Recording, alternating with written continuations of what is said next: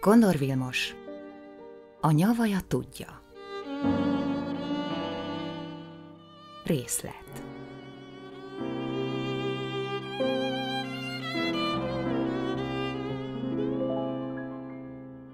Kérdezze mi a nyavaját keresek itt. Gordon apa hagyta a gépelést és felnézett. Valéria, az állandó éjszakai szerkesztőségi titkár állt előtte, hangja komor volt, mint mindig, és még a szemét sem látta, mert szemüvege fekete lencséjében az íróasztali lámpafénye tükröződött vissza. Valéria türelmesen állt, hófehér haját hátrafésülve hordta, egyik kezében egy frissen megjelent detektív regényt tartott, Lestján Sándor halálfejes pillangó című írását, másik kezének mutatójával pedig az íróasztalra támaszkodott. Akár kacérnak is lehetett volna nézni Valériát, de Gordon tudta jól, Valéria nem flörtöl, nem kokettál, hanem a telefonokra válaszol, amelyek éjszaka csörögnek, miközben csak úgy falja a detektív regényeket. Gordon hátradőlt a székében. Ujjait összefűzte tarkója mögött, és nyújtózott egyet. Tudta, hogy valami nem stimmel Valéria kérdésében, de még nem sejtette, hogy mi. Előkapott egy cigarettát, szájába dugta, rágyújtott, és a füst mögül fürkészte Valériát, akinek arcán mintha egy vékony mosolyárnyéka futott volna végig. Mintha. Ám Gordonnak ennyi is elég volt. Utoljára akkor látta mosolyogni Valériát, amikor a kifutó fiú az egyik külvárosi antikváriumból meghozta neki a detektív krónika összes számát. Az pedig 1931 gyötrelmesen szeles őszén történt. Három évente egy mosoly. Mondja csak, Valéria, mi a nyavaját keres itt? kérdezte Gordon végül. Az őszhajú nő, aki lehetett talán harminc, de akár hatvan éves is, megköszörülte a torkát. Most, hogy így kérdezi Zsigmond, az a helyzet, hogy a nyavaját megint elütötték, felelte rekettes hangján. Megint elütötték, egyenesedett ki Gordon a székében. Valéria komoran bólintott, de Gordon látta rajta, közel jár ahhoz, hogy kirobbanjon belőle a nevetés, amiről a szerkesztőségben csak legendák jártak, ám szem és fültanúja még nem akadt. A nyavaját? A nyavaját. Most éppen micsoda? Most éppen egy villamos. Melyik villamos? A tizenkilences. Nagyon elütötte? kérdezte Gordon. Azt nem közölték a mentősök felelte Valéria, akinek városszerte kiváló kapcsolatai voltak, természetesen az éjszakai ügyeletesek között. Kórházak, mentőállomások, pályaudvarok, kiadók és redakciók éjszakai bagjai rendszeresen tartották egymással a kapcsolatot, főként azért, hogy ne unják magukat halálra. Csak annyit mondtak, hogy már megint elütötték a nyavaját. És hová vitték? A betesdába. Gordon összekulcsolta a kezét a tarkóján, és kifújta a füstöt. Mennyire havazik? kérdezte Valériától. A nő azonban sarkon fordult, az asztalához sietett, leült párnázott székébe, megigazította a lámpabóráját, majd akkurátusan kitette maga elé lestjár regényét, és olvasott tovább. Gordon az ablakhoz lépett, és kinézett a behavazott Rákóczi útra. A hó nagy részét már eltakarították, csak a járdán kóvájgott néhány rongyokba burkolt alak hólapáttal és kézikocsival felszerelkezve. Néha megálltak, unottan belapátolták a kupacba hordott havat a kocsiba, majd tovább mentek. Az üzletek fényárban úsztak, szörmekereskedők és ékszerészek pazarüzletei várták a tehetősebb pesti polgárokat. Egy kicsit még szálingozott a hó, de annyira nem, hogy elvegye Gordon kedvét a rövid villamos úttól. A cikket félbehagyva gyorsan a kabátjába bújt, egy pillanatig magában átkozódott, amiért még mindig nem vett sárcipőt, pedig annyiszor megfogadta, aztán kalapját a fejébe nyomta, biccentett Valériának és lesietett a lépcsőn. Pár perc alatt a Blaha térre ért, és a megállóba húzódva nézte az éjjeli menedékhelyre beszállingózó alakokat.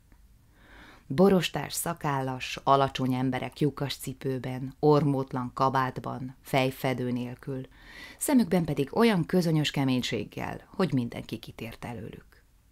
A villamos csengetett, Gordon felszállt, vett egy kis szakaszjegyet, majd a Hermina út sarkán leugrott a járműről, és alaposan kilépett, hogy mi hamarabb odaérjen a kórházba. A kórterem előtt megállt elnyomni a cigarettáját, aztán belépett a helyiségbe. Négy ágyból három volt foglalt. Az egyik beteg nyögött, a másik horkolt, a harmadik meg mozdulatlanul feküdt. Gordon sóhajtott, és odament a mozdulatlanul fekvő alakhoz. Magával meg mi a nyavaja történt? kérdezte. Az ágyon fekvő fiatal férfi kinyitotta a szemét. Kérem szépen, szerkesztő úr. Rendben, bólintott Gordon, elnézést. Magával meg mi a fene történt? És nehogy azt mondja, hogy van egy rokona, akit fenének hívnak, mert azt nem hiszem el. Kérem, ahogy tetszik parancsolni, szerkesztő úr, felelte sértődötten a férfi. Én akár meg se szólalok. Gordon elővette a jobbféle török cigarettáját, és a férfi felé nyújtotta a dobozt. Gyújtson rá, Benő. A férfi felvont szemöldöke alól szemlélte a cigarettát, mintha valamiért gyanús lett volna neki, aztán felemelte a kezét, és elvette egy szálat.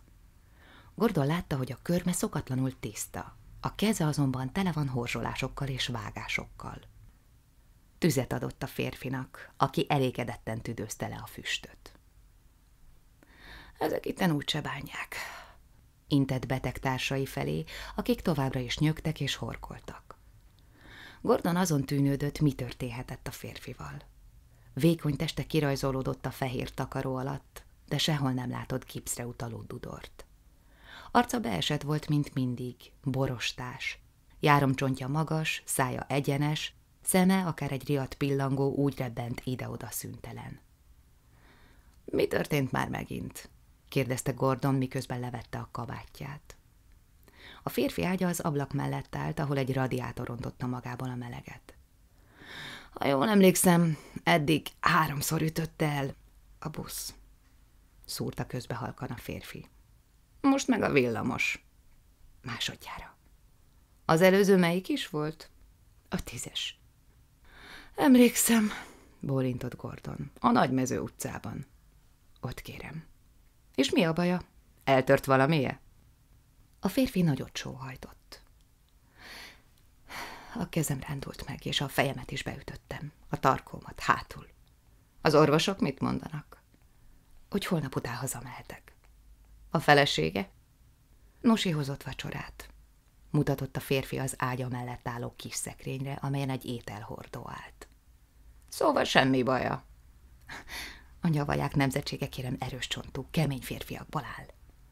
Tudom, nézett rá Gordon. Efelől szemernyi kételjem sincs. Nem is lehetett. Amióta 1930 nyarán munkába állt az esnél, nyavaja benőtt nagyjából fél évente elütötte valami.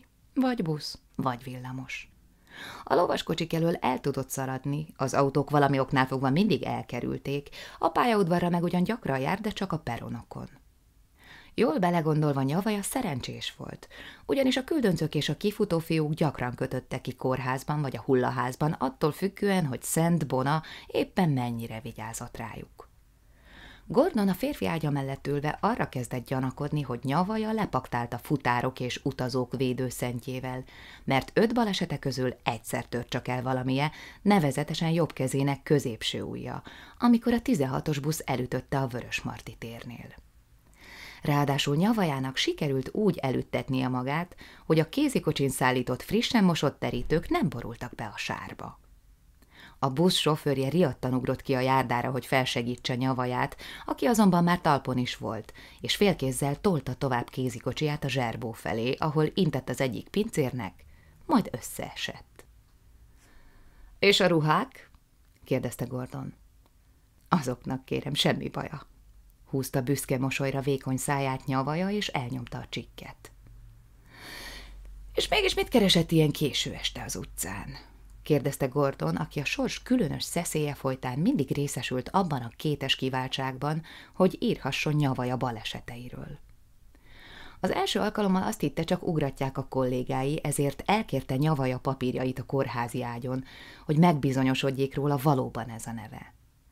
Még a második alkalommal is nehezen tudta legyűrni nevetését, most arra viszont már megszokta nyavaját, ahogyan azt is, hogy kisebb-nagyobb rendszerességgel elütik, ám egy valamit soha nem tudott megszokni, a férfi mániáját. Kérem szépen, én nyomoztam, felelte a férfi, ideges szemében furcsán lobogó tűzzel. Gordon felsóhajtott. Nyomozott? Már megint? Nyomoztam, kérem. Igen. Vágta rá nyavaja, és izgatottan felült az ágyban. Gordon az órájára pillantott. Tíz óra múlt pár perccel. Messze még a hajnal, és az ösztöne azt csúgta, ennél komolyabb dolog nem nagyon fog már történni az éjjel. Mit nyomozott nyavaja? Nagyon fontos ügyben nyomozok, súgta a férfi, és fehér bőre kezdett megtelni élettel. Nos, kezdte megfontoltam, majd nyelt egyet. Gordon erre belenyúlt a zsebébe, és a férfi elé tartotta a doboz cigarettát. A férfi annyira élvezte a finom dohányt, hogy egy ideig boldogan szívta füstjét. Nyavaja Benő alapvetően rendes ember volt. 28 évesen ugyan nem vitte sokra, de tisztességesen és keményen dolgozott immár öt éve kifutó fiúként és küldöncként egy lövöldetéri mosodásnak. A feleségével, Nusival angyalföldön lakott egy egyszobás kislakásban, ahová csak aludni jártak haza, lévén az asszony mosónőként dolgozott. Nyavaja arról álmodott, hogy egyszer elköltöznek a Vekerle telepre, egy kétszobás lakásba, saját fürdővel. Ehhez a pénzt pedig akként tervezte előteremteni, hogy nyomozott. Nyilván a saját szakállára, hiszen csak az elemit sikerült elvégeznie. Egyszer azonban hallotta, hogy a rendőrség nyomra vezetői díjat tűzött ki egy meglehetősen bonyolult és teljesen reménytelen ékszerlopási ügyben, mire rögvest nyomozni kezdett. Pár hét múlva aztán kiderült, hogy az ékszerlopás önbetörés volt, ám ez sem vette el nyavaja kedvét. Nagy figyelemmel bújta a lapok bűnügyi rovatait.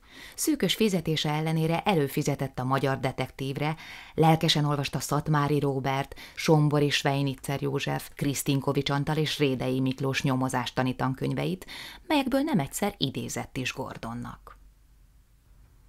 Mégis milyen ügyben? érdeklődött Gordon. Nyavaja körbe pillantott, hogy nem hallgatózik-e valaki. Kint lassan szakadni kezdett a hó. A férfi, aki nyögött, elkezdett horkolni is. Az ajtó előtt időnként elsuhant egy-egy fityulás nővér, de senki nem hallgatózott. Nos kérem, a Lipótvárosi mackós ügyében. Értem, bólogatott Gordon, és minden erejével azon volt, hogy nem mosolyogjon. A Lipotvárosi mackós kifejezés kollégájától, Komlós Jenőtől származott, akivel közösen szoktak írni kasszabetörésekről. A Lipotvárosi mackós lassan egy éve vezette orránál fogva a rendőröket. 1933. októberében törte fel az első páncélszekrényt a Nádor utcában. Onnét 16 ezer pengővel távozott. 1933. decemberében egyetlen hétvége alatt, igaz, az a karácsonyi hétvége volt, három mackót dolgozott meg a Rádai utcában. Összesen 42 ezer pengőt zsákmányolva. Azóta kétszer csapott le, és mind a kétszer 50 ezer pengő fölötti zsákmányjal távozott társaival együtt, a rendőrség pedig, a belügyminiszter, a főkapitány és a pestiek nagy elégedetlenségére sem tudta elkapni a rafinált mackóst. Az ok egyszerű volt és prózai. A Lipótvárosi mackós más és más módszerrel feszítette fel a páncél szekrényeket, és semmi sem tudta megállítani. Mindegy volt neki és társainak, hogy régi típusú vasszekrénybe, új típusú acélszekrénybe, vagy a legmodernebb vasbeton szekrénybe rejtették el előlük a pénzt. Ez a rendőrséget teljesen összezavarta, mert képtelenek voltak a módus operandi alapján azonosítani az elkövetőt, vagy legalábbis szűkíteni a számba jöhető gyanúsítottak körét. A század elejétől kezdve ugyanis elkezdték gyűjteni a feltört páncélszekrényekről készült fotókat. A módszert Laki Lajos detektív főnök dolgozta ki még 1910-ben. Abból indult ki, hogy minden kasszafúrópáros egyedi módon dolgozik. Elvégre a kasszabetörés nehéz munka, így minimum ketten kellenek hozzá, mert eképpen felváltva tudnak dolgozni. A kasszabetörés egyik módozata a kasszafúrás – amit a zárak körül vagy az oldalfalakon alkalmaznak, mégpedig úgy, hogy a fúrógéppel és a hozzáalkalmazott furdancsokkal kör alakban 30-40 lyukat fúrnak, majd a tolvaj acélmetsző segítségével emeli a részt és jut el a trezorhoz, amelynek gyengébb falát már könnyű szerrel töri fel. Vannak, akik a kassa hátulját, netán a tetejét törik fel, tekintettel arra, hogy ezeken a részeken általában gyengébbek a falak. Az első kasszafúrások azonban az oldalfalak ellen irányultak, mert a kassa előső oldala volt rendszerint a legerősebb. Jó eszközökkel viszont az előső oldalon történő bontás adja a legbiztosabb eredményt. Mert ha az árak körül intézett támadás sikeres, az egész kassa nyitva áll. És nincs kitéve a kasszafúró annak, hogy az oldalfalakon véghez vitt sikeres betörés dacára sem tud a trezorhoz jutni.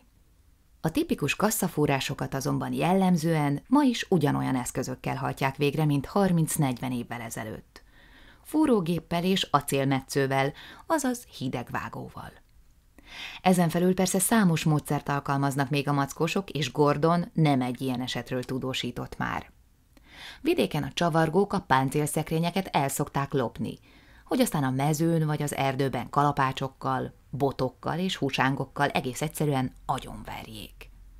Amikor a Lipótvárosi mackós első esetéről tudósított Komlós Jenővel, kollégája felidézte a nagy háborút, amikor többször is kézigránát segítségével próbáltak meg a tolvajok a páncélszekrényben lévő pénzhez jutni. A módszer azonban nem terjedt el, mert a páncélszekrényel együtt legtöbbször annak tartalma is felrobbant. Így a tolvajoknak más módszerekhez kellett folyamodniuk, amelyek közül a legmodernebb az olvasztásos módszer volt, amikor is lángvágóval nyitották fel a mackót. Laki detektívfőnök utasítására 1910-től kezdve az összes feltört páncélszekrényt lefotózták úgy a fővárosban, mint vidéken, és ez alapján állították össze az elkövetői kört. A modus operandi annyira egyedi minden esetben, hogy a rendőröknek egy idő után elég volt egyetlen pillantást vetniük a feltört kasszára, és már tudták is, kit kell keresniük. A Lipótvárosi mackós azonban a lehető legegyedibb módon dolgozott. Minden szívhez más és más technikát alkalmazott. Ha kellett, acélmetszőt használt, ha kellett, fúrógépet. Nem vetette meg az egyszerű spajszert sem, és magabiztosan kezelte az oxigénpalackot. A nyomozást eredetileg Horváth Dezső detektív felügyelő vezette, a detektív csoport azonban nem jutott előre. Leellenőrizték az összes ismert mackóst a fővárosban, majd amikor kudarcot vallottak, vidéken folytatták. A legkülönösebb az volt az egészben, hogy a pénznek is minden esetben nyoma veszett. A kasszafúrók azért szokták szeretni munkájukat, mert hamar nagy mennyiségű készpénzhez juthatnak, amelyet aztán könnyűvérű nőkre, dáridókra, mulatozásokra és napokig tartó kártyapartikra lehet elkölteni. Nem kell orgazdákat keresni, nem kell mélyen az értékük alatt értékesíteni ékszereket, festményeket és egyéb értéktárgyakat. Egy nagy kötekbankó, az egy nagy kötekbankó, kérem alásan, és ezzel nem méltóztatik vitatkozni senki sem mondta 1899-ben a legendás Bartuszek Géza, aki négy tagú bandájával nyolc helyszínen kilenc páncélszekrényt furt meg, alig pár hónap leforgása alatt. Bartuszek bukását természetesen a nyakló nélküli költekezés okozta. Ám a Lipótvárosi mackós kasszabetörései után a rendőrség informátorai semmiféle információval nem tudtak szolgálni, és a kávézókba, kávémérésekbe, mulatókba, kártyabarlangokba, rossz hírű házakba, valamint éttermekbe ellátogató detektívek sem találták nyomát kirívóan költekező vendégnek. Horváth Dezső detektív felügyelő emberei ekkor még mélyebbre ástak, és elkezdték nagyon diszkréten kikérdezni a régiség és szörmekereskedőket, az ékszerboltok és autószalonok tulajdonosait, hogy volt-e mostanában gyanús vevőjük. Néhány nyomon el is indultak a detektív csoport emberei, de sehová sem jutottak. A főkapitány erre alig egy hónapja átadta a nyomozást egy másik detektív csoportnak, Gellért Vladimir detektív felügyelő vezetésével, aki legkiválóbb emberére, Knapik Józsefre bízta a munkát. És most itt van Nyavaja Benő kifutófiú, buszok és villamosok állandó áldozata, aki azt állítja, hogy nem csak nyomoz a Lipótvárosi mackós ügyében, hanem nyomon is van. Milyen nyomon van Nyavaja? kérdezte tőle Gordon. Jó nyomon, kérem. Gordon sóhajtott. Ebben csak reménykedhetünk. A férfi szimpadias mozdulattal hátat fordított Gordonnak. Kint egyre jobban szakadt a hó. Rendben van, szólalt meg Gordon. Szóval milyen nyomon van? Azt nem mondhatom meg, hangzott a válasz. Nem? Nem. Csak akkor, ha... Ha megtalálta a tettest? Igen. Mint a hamisított kanárinál? Ha lehetett volna még jobban hátat fordítani, akkor nyavaja megtette volna, de így csak a fejére húzta a takarót. A hamisított kanárik volt nyavaja első és eleddig utolsó esete, amelyről sokáig meséltek a szerkesztőségben, mindig könnyek közt a röhögéstől. Egy soproni illetőségű férfi, Koncol Endre, 1932-ben Budapesten folytatta, amit Sopronban fejlesztett tökére. Csapdával verebeket fogdosott a Városligetben, majd a madarakat aprólékos munkával sárgára festette, és darabját öt pengőért eladta a telekitéren szombatonként. Nyavaja a feleségével minden szombaton kiment a telekitéri piacra, mert ott lehet a legolcsóbban vásárolni. És szemet szúrt neki a férfi, aki testes kanárikat árult egy nagyobb kalitkából. A madarak ráadásul soha nem énekeltek, csak csiripeltek. Nyavaja feleségének megtetszettek a madarak, és ha le tudta volna alkudni az árát két pengőre, akkor vesz is egyet maguknak. Nyavajának azonban gyanúsak lettek a madarak, és egy héttel később gyanúja beigazolódott. A férfi már kora reggel ott állt a kanárikkal, amikor hirtelen beborult az ég, és lecsapott egy fergeteges nyári zápor. A madarakat áruló férfi csak késve kapott észbe, és mire ráborított egy takarót a kalitkára, az egyik madárról már elkezdett folyni a sárga festék. Nyavaja mélységesen felháborodott, de nem szólt semmit a férfinak, aki azt hitte, senki sem vette észre, mi történt. Nyavaja másnap felkereste Gordont az Est szerkesztőségében, lévén Gordon volt az egyetlen zsurnalista, akit ismert, és előadta neki, hogy mi történt a piacon. Gordon első reakciója a hangos nevetés volt, a második a bocsánatkérés, a harmadik pedig a telefonálás. A kapitányságon közölték vele, hogy küldje csak be nyavaját, mert eddig már négy bejelentés érkezett hozzájuk hamis kanárik miatt, melyeket a Rákóczi út környékén árul egy vidéki férfi, de mivel mindig máshol, nem találják. Bár az igazat megvalva annyira erősen nem is keresik. Gordon nyugodtan ült a székén, mert tudta, hogy nyavaja hamarosan magától megbékél. Az évek során megszerette a kifutó fiút, aki arról álmodott, hogy egyszer majd ő is detektív lesz. Talán álmaiban már az is volt. És azt a tényt sem lehetett tagadni, hogy az ő segítségével fogták el a kanári hamisítót, akit a bíró úgy leteremtett a tíz körméről, hogy senki nem mert röhögni, aztán megrovással hazaküldte. Gordon ott volt a tárgyaláson. A világ minden kincséért sem mulasztotta volna el. Még meg is interjú volt a koncol, de a szerkesztője nem tette bele a labba, mert valami megint történt Berlinben. Itt ülhet reggelig, szerkesztő úr. Akkor sem mondom el, hogy mit nyomoztam ki. Szólalt meg halkanya a vaja. Nem? És miért nem? Mert még nem vagyok biztos benne. Felelte a férfi, majd lassan Gordon felé fordult. Nem csak a keze rándulhatott meg, mert fájdalmas arccal gyűrte feje alá a fáradt tolpárnát. Gyanakszom valakire, aki... A mondatot azonban nem fejezte be. Aki? Nem mondhatok többet. Gordon eltűnődött. Aki? Egy valakire gyanakszik? Ennyi nyavaja. Maga is tudja, hogy ezek galerikban dolgoznak, de minimum párban járnak. Egy ember képtelen végrehajtani ennyi kasszafúrást ennyi idő alatt. Nem mondhatok semmit, még nem találtam meg minden nyomot. Ezért kolbászolt a keleti pályaudvar előtt? Nyomozott? Igen, kérem, felelte öntudatosan a férfi. Nyomoztam. Egyelőre csak annyit mondhatok, hogy a nyomozásom jelenlegi állása szerint egyetlen elkövetőről van szó. Értem, bólintott Gordon. Majd szóljon, ha többet megtud. Nyavaja sértődöttem morgott valamit. Lássuk csak, folytatta Gordon. Hogyan is történt pontosan ez a baleset? thank you